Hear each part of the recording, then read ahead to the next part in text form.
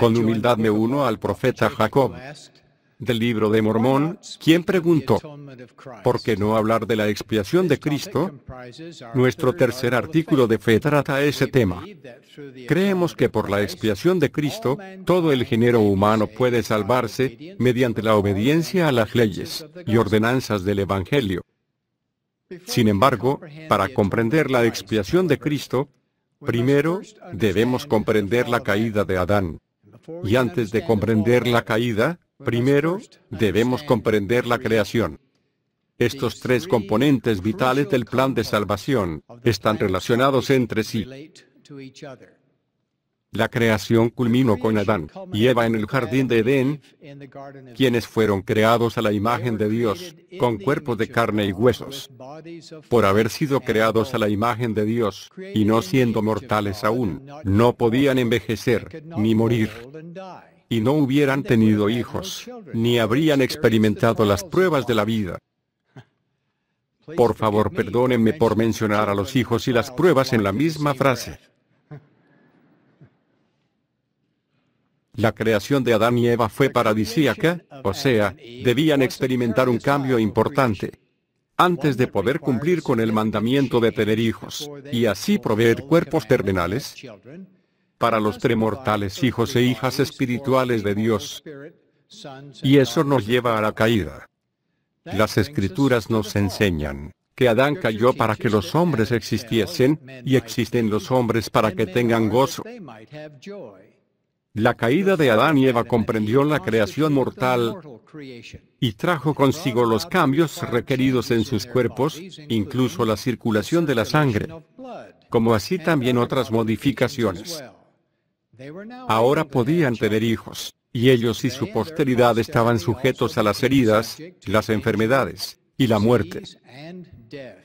Y un Creador amoroso los bendijo con el poder sanador por el cual se podían preservar la vida y las funciones de los preciosos cuerpos físicos.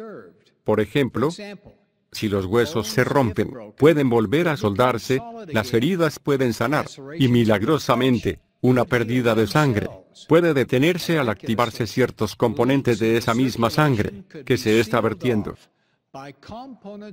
Piensen en lo maravilloso del poder de sanar.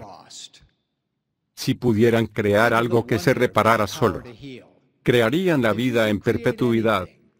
Por ejemplo, si pudieran crear una silla que reparara su propia pata rota, la vida de esa silla no tendría límite. Muchos de ustedes caminan con piernas que una vez estuvieron rotas y lo hacen en virtud del maravilloso don de sanar. Aunque nuestro Creador nos dotó de ese poder tan increíble, nos confió un don opuesto, la bendición del envejecimiento, con recordatorios visibles de que somos seres mortales, destinados a partir un día de esta frágil vida. Todos los días nuestro cuerpo cambia. Al ir envejeciendo, nuestro pecho que era ancho y nuestra cintura que era angosta, parecen tener la tendencia de cambiar de lugar. Nos arrugamos. Perdemos el color del cabello, y aún el cabello mismo, para recordarnos que somos hijos mortales de Dios, con la garantía del fabricante, de que no quedaremos sobre la tierra para siempre de no ser por la caída, nuestros médicos, los empleados de salones de belleza y los funerarios no tendrían trabajo. Como seres mortales, a Adán y a Eva se les instruyó que adorasen al Señor su Dios y ofreciesen las primicias de sus rebaños como ofrenda al Señor. También se les dijo que la vida de la carne en la sangre está, y la misma sangre hará expiación de la persona. La aprobación, la procreación y el envejecimiento fueron componentes del gran plan de felicidad de Dios, así como también fue esencial la muerte física. Pero la vida mortal, por gloriosa que sea, nunca fue el objetivo final del plan de Dios. La vida y la muerte aquí sobre el planeta Tierra eran solo medios para alcanzar un fin, y no el fin por el que fuimos enviados. Y eso nos lleva a la expiación. Pablo dijo, porque así como en Adán todos mueren, también en Cristo todos serán vivificados. La expiación de Jesucristo se convirtió en la creación inmortal.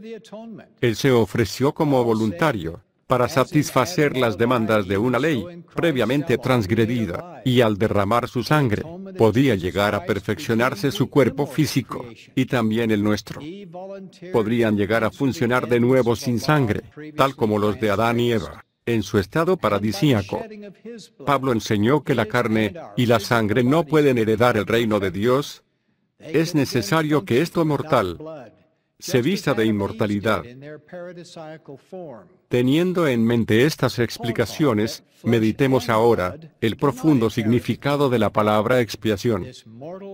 En el idioma inglés, la palabra se compone de tres elementos, at, one, ment, que sugieren ser una persona una con otra. En español y en algunos otros idiomas, la palabra significa reconciliación. Expiación significa borrar las culpas por medio de un sacrificio. La palabra derivada de las raíces latinas, re, que significa de nuevo, con, que significa en compañía de, y sella, que significa sentarse. Por tanto, reconciliación significa, literalmente, sentarse de nuevo en compañía de se encuentra un rico significado al estudiar la palabra expiación en los idiomas semíticos de la época del Antiguo Testamento. En hebreo, la palabra básica para expiación es kafar, un verbo que significa cubrir o perdonar. Estrechamente relacionada se encuentra la palabra aramea y arábiga kafat, que significa un abrazo íntimo, sin duda relacionada con el abrazo ritual egipcio. En el libro de Mormón, hay referencias evidentes de ese abrazo. Una dice, el Señor ha redimido a mi alma, he visto su gloria, y estoy para siempre envuelto entre los brazos de su amor. Otra ofrece la gloriosa esperanza de ser recibido en los brazos de Jesús. Lloro de gozo al contemplar el significado de todo esto.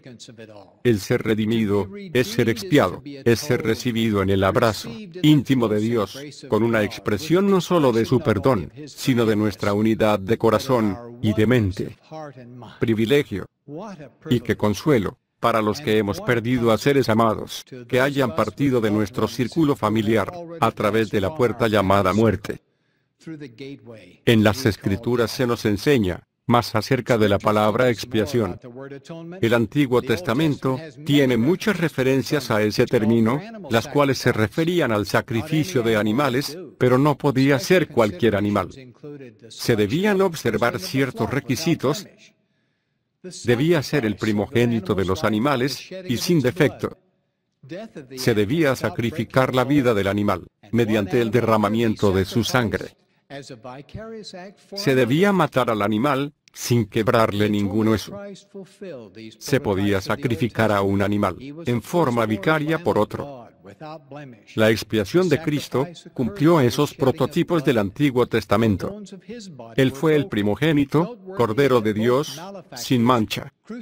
Su sacrificio ocurrió mediante el derramamiento de sangre. No se quebró ni un hueso de su cuerpo, es digno de mencionar, que a los dos malhechores crucificados, junto al Señor les quebraron las piernas. El suyo fue un sacrificio vicario a favor de otros. Aunque las palabras expiar o expiación, en cualquiera de sus formas, aparecen una sola vez en la traducción del Rey Santiago del Nuevo Testamento al inglés, aparecen 35 veces en el libro de Mormón. Siendo que es otro testamento de Jesucristo, este libro arroja preciosa luz sobre su expiación, al igual que doctrina y convenios, y la perla de gran precio. La revelación de los últimos días ha aumentado grandemente, la comprensión que adquirimos de la Biblia. En los tiempos preparatorios del Antiguo Testamento, la práctica de la expiación era finita, o sea, tenía un final. Era una predicción simbólica de la expiación definitiva de Jesús el Cristo. Su expiación es infinita, no tiene fin. También es infinita en el sentido de que todo el género humano, se salvará de la muerte sin fin, y es infinita en el sentido del intenso sufrimiento del Salvador. Es infinita en el tiempo, dando fin al prototipo anterior del sacrificio animal.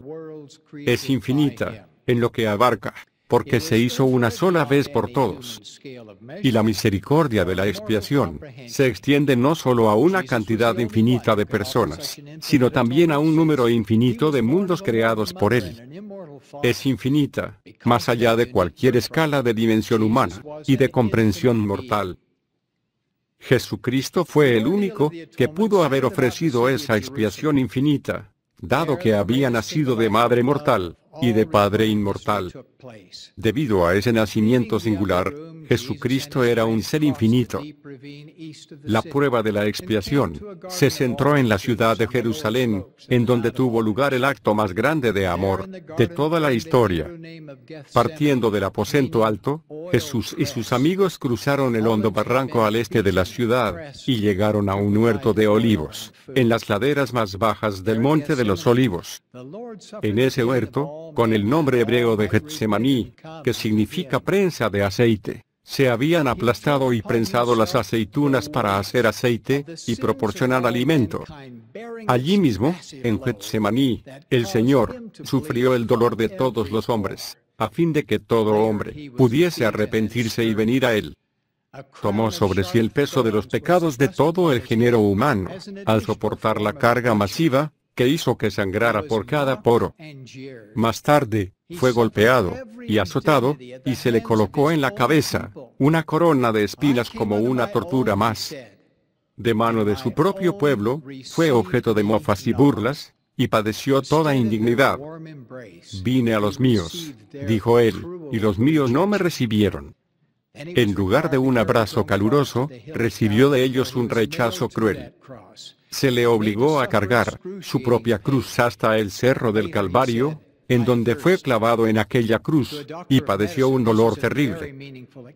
Después dijo él, tengo sed.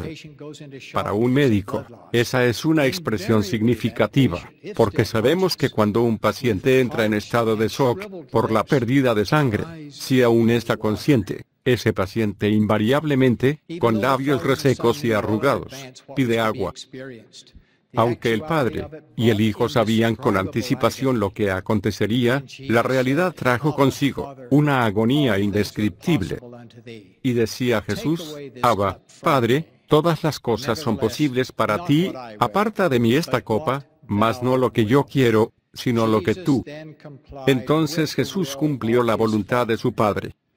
Tres días después, precisamente como lo había profetizado, se levantó del sepulcro. Se convirtió en las primicias de la resurrección.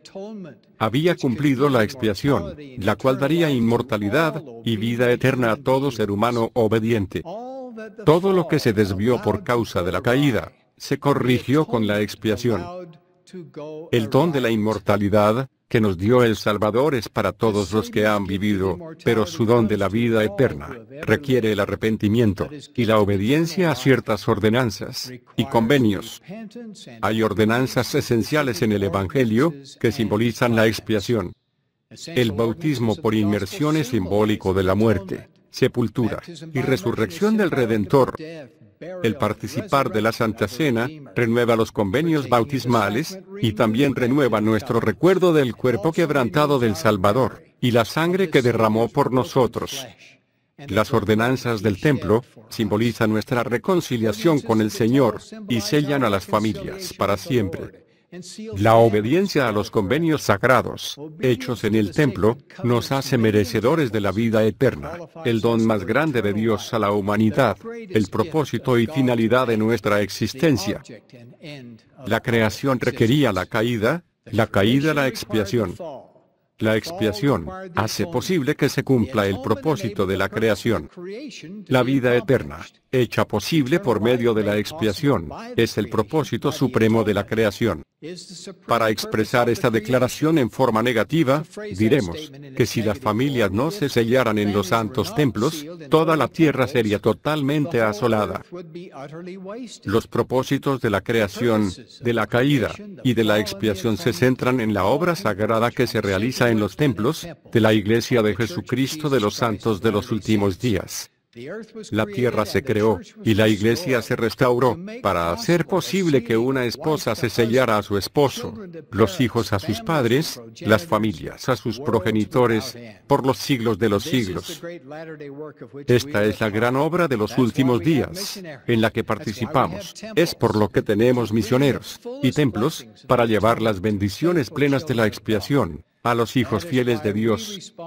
Es por eso que respondemos a los llamamientos que nos hace el Señor. Cuando entendemos su expiación voluntaria, cualquier sentimiento de sacrificio de nuestra parte queda totalmente opacado por un profundo sentimiento de gratitud por el privilegio de servirle a Él. Como uno de los testigos especiales del nombre de Cristo en todo el mundo, testifico que Él es el Hijo del Dios viviente, Jesús es el Cristo, nuestro Salvador y Redentor. Esta es su iglesia, restaurada para bendecir a los hijos de Dios y preparar al mundo para la segunda venida del Señor. Así lo testifico en el sagrado nombre de Jesucristo. Amén.